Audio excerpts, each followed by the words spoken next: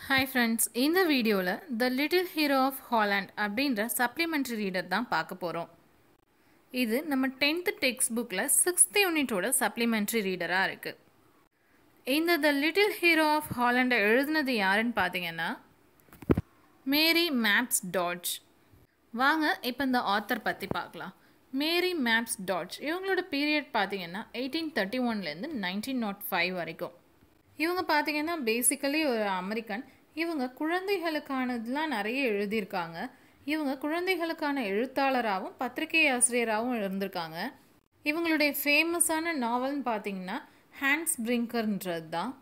Juvenile literature அதாவது children literature குழந்தைகளுக்கான இலக்கியத்தில் நைன்டீன்த் செஞ்சுரியில் நைன்டீன்த் செஞ்சுரியில் கிட்டத்தட்ட மூன்றில் ஒரு பங்கு காலம் இவங்க ஜூனைல் லிட்ரேச்சர் அதாவது சில்ட்ரன் லிட்ரேச்சர் குழந்தைகளுக்கான இலக்கியத்தில் ஒரு ரெகனைஸ்ட் லீடராக இருந்திருக்காங்க.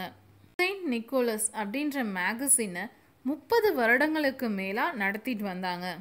இது வந்து குழந்தைகளுக்கான ரொம்ப புகழ்பெற்ற மேகசின் இந்த மேகசினில் Mark Twain Louisa May Alcott Robert Louis Stevenson Tennyson இந்த மாதிரி பல பெரிய எழுத்தாளர்களை எழுதுறதுக்கு இவங்க சம்மதிக்க வச்சாங்க.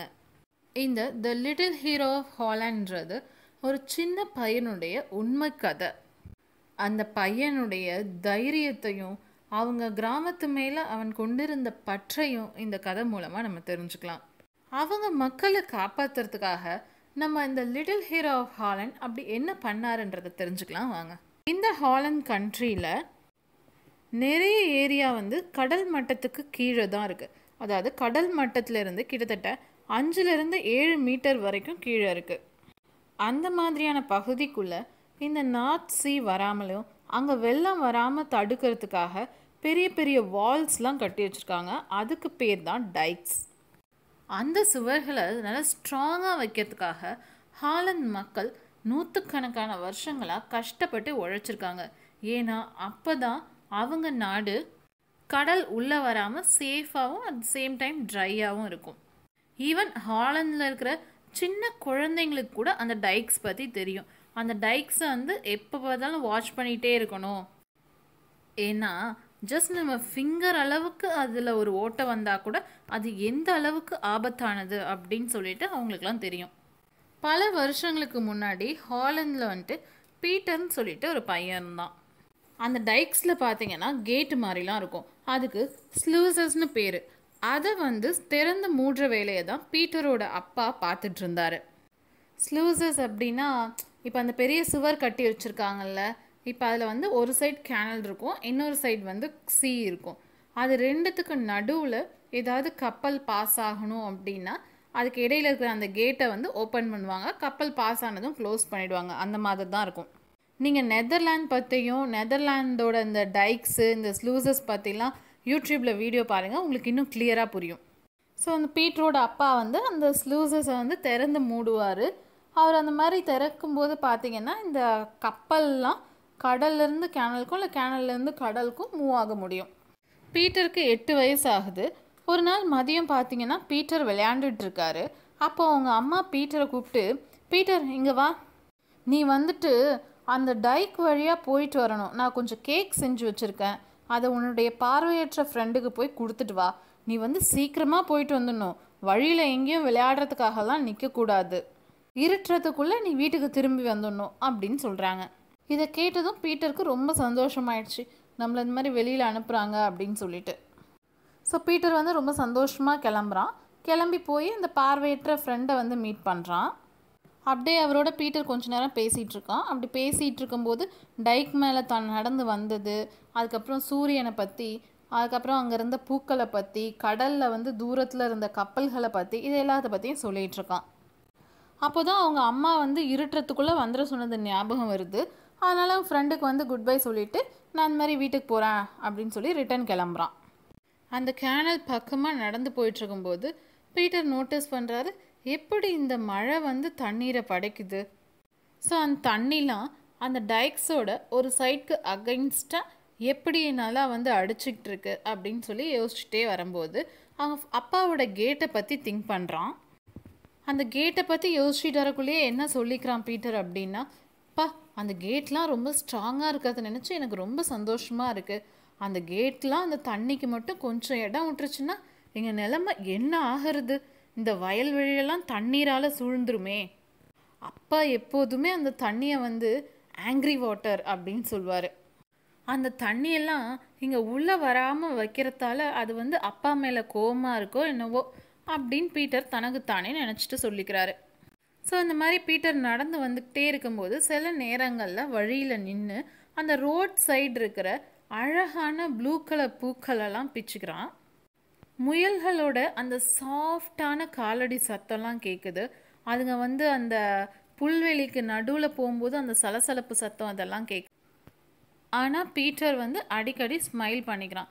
ஏன் அப்படின்னா தன்னுடைய ஏழ்மையான அந்த ஃப்ரெண்டை போய் பார்த்துட்டு வந்தான் இல்லையா?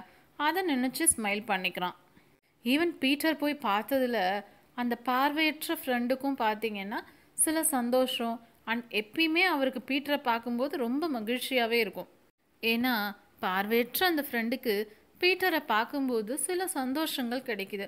அண்ட் அவருக்கு எப்போ பீட்டரை பார்த்தாலுமே ரொம்ப மகிழ்ச்சியாக இருக்கும். ஸோ இதெல்லாம் யோசிச்சுட்டு இப்படி வந்துட்டுருக்கும்போது பீட்டருக்கு தோணுது சூரியன் மறைய போகுது அப்படின்னு சொல்லிட்டு. ஏன்னா மெல்ல மெல்ல இருட்ட ஆரம்பிக்குது. ஐயோ அம்மா நமக்காக எதிர்பார்த்துட்டு இருப்பாங்களே நமக்காக காத்துக்கிட்டு இருப்பாங்களே அப்படின்னு நினச்சிட்டு பீட்டர் வந்து கொஞ்சம் வேகமாக அதை ஓட ஆரம்பிக்கிறான் வீட்டை நோக்கி. அப்போ தான் பீட்டருக்கு வந்து ஒரு சத்தம் கேட்குது அது என்ன சத்தம் அப்படின்னு பார்த்தீங்கன்னா சின்ன ஸ்ட்ரீம் வழியாக வர தண்ணியோட சத்தம். பீட்டர் நின்று அது என்ன அப்படின்னு சொல்லிட்டு பார்க்குறான் அப்படி பார்க்கும்போது தான் தெரியுது அந்த டைக்கில் ஒரு சின்ன ஹோல் இருக்குது அந்த ஹோல் வழியாக கொஞ்சம் கொஞ்சமாக தண்ணி வந்து ஃப்ளோ ஆகிட்டுருக்கு ஹாலந்தில் இருக்கிற எந்த குழந்தை இதை பார்த்துருந்தாலுமே அந்த டைக் வழியாக தண்ணி லீக் ஆகிறத பார்த்து ரொம்ப பயந்து போயிருப்பாங்க. பீட்டருக்கு அதனுடைய ஆபத்து புரியுது. என்னதான் தண்ணி வந்து அந்த சின்ன ஹோல் வழியாக வந்துட்டு இருந்தாலுமே சீக்கிரமே அது பெருசாகிடும் அந்த என்டையர் கண்ட்ரியும் நிறைய தண்ணி வந்து அப்படியே வெள்ளத்தால் சூழ்ந்துரும். பீட்டர் வந்து அவனால் இப்போ என்ன பண்ண முடியும் அப்படின்னு யோசிக்கிறான். அப்படி யோசிச்சுட்டு கையில் இருந்த அந்த பூக்கள்லாம் பறிச்சிட்டு வந்தான்ல ப்ளூ கலர் பூலாம் அதை தூக்கி போட்டுட்டு அந்த டைக் பக்கமாக உட்காந்து தன்னுடைய விரலை கொண்டு அந்த ஓட்டையை அடைக்கிறான். ஸோ விரலால் ஓட்டை அடித்ததும் தண்ணி வர்றது நின்றுடுது ஸோ இதை பார்த்து தான் பீட்டருக்கு கொஞ்சம் சந்தோஷமாகுது ஓஹோ அப்படின்னு சொல்லிக்கிறான். இந்த ஆங்க்ரி வாட்டர்ஸ்லாம் அங்கேயே இருக்க வேண்டியது தான் நான் வந்து என்னுடைய விரலை வச்சு அதை திருப்பி அங்கேயே இருக்க வச்சுட்டேன். நான் அங்கே இருக்கிற வரைக்கும் ஹாலண்டை வந்து மூழ்கடிக்க முடியாது.